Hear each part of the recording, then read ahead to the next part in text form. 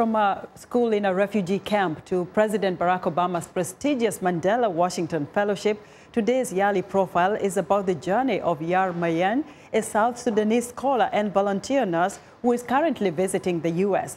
VOA's Zacharias Aboubeker talked to Yar in Juba, South Sudan, about her passion for education and her dreams for Africa.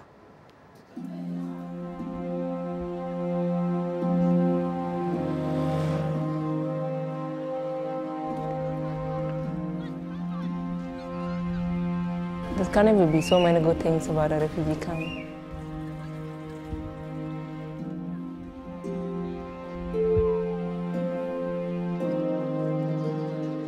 We live in a small hut with a roofing iron sheet, so it's get hot inside.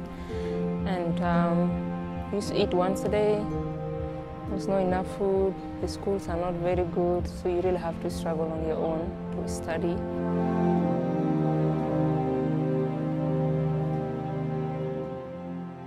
I went to school and I studied so hard because I knew if I study hard, then I'll get out of Kakuma, I'll get a scholarship and leave Kakuma. But I went to Kakuma on my own. My parents had, my parents and family had remained back, so I went to Kakuma because I wanted to go to school.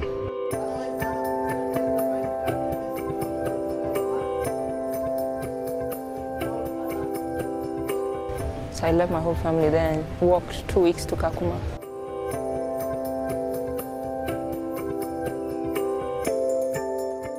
Name is Yar Mayen. I'm a South Sudanese. I work at the University of Juba as a lecturer. I also work as a deputy director in the office of the vice chancellor. Um, twice a week or three times a week, I go to MRDC clinic. It's a diplomatic clinic in Juba that does humanitarian operation for South Sudanese.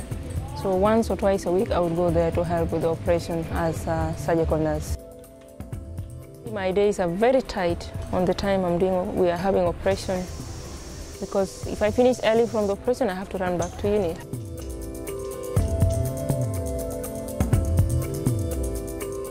Since war began, basically most of the things that are happening in Juba, either private or public, is basically stopped. So you can literally see there are no resources. There could be good doctors, but they can't do everything they can.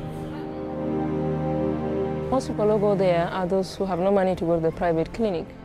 So that's the best place to pick because it's humanitarian. We need the poorest, the one that need it most, the one that have no other options. Everything you do, you don't do it fully because one or two things are missing. Uh, for example, at uni, teaching aids, there's no PowerPoint, sometimes no electricity, sometimes there are no textbook, good textbook for students to read. There's no internet. People are so discouraged here. Things, things have been going down. Life is getting harder. We have a lot of ideas. We don't know what to do with them. So I'm hoping after going to the US and going through the training and sharing my experiences with the African, other African, maybe I'll come back with more motivation and more ways of dealing with things here. There's a lot that come with education, you know, understanding of the future, working hard, understanding unity. For example, at uni, we really try to bring students together. We try to give them a common ground that we all South Sudanese, and we shouldn't go on tribal line. That cannot come easily if somebody is not open-minded. And there's something about education that makes you look beyond your boundaries. So it's, it's very important for us